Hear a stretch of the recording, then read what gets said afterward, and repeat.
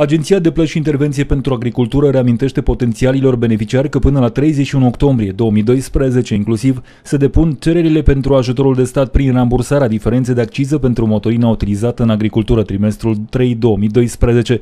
Ajutorul de stat se acordă sub formă de rambursarea diferenței dintre acciza standard și acciza redusă stabilită la 21 de euro per 1000 de litri pentru motorina utilizată la efectuarea lucrărilor mecanizate în agricultură. Valoarea accizei decontate este pentru acest an de 1,2 lei per litru. Beneficiarii beneficiarii pentru care a fost emis acordul prealabil de finanțare depun cererile trimestriale de solicitare a ajutorului de stat însoțite de o situație centralizatoare privind cantitățile de motorină achiziționate în trimestrul respectiv, precum și de documentele prevăzute. Cererea trimestrială de rambursare a ajutorului de stat nu poate depăși 40% din cantitatea totală stabilită conform acordului prealabil de finanțare prin rambursare.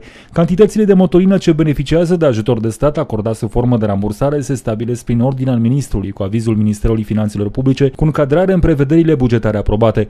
Beneficiarii accize reduse pentru motorina utilizată în agricultură riscă amenzi de până la 20.000 de lei, dar și pierderea dreptului de a încasa acest ajutor de stat pentru o perioadă de 3 ani, dacă în urma verificărilor se dovedește că au beneficiat de un ajutor necuvenit. Vânzarea motorinei pentru care s-a acordat ajutor de stat sau utilizarea acestea în alte scopuri decât cele prevăzute de lege constituie contravenție și se sancționează cu amendă de la 5.000 la 20.000 de lei.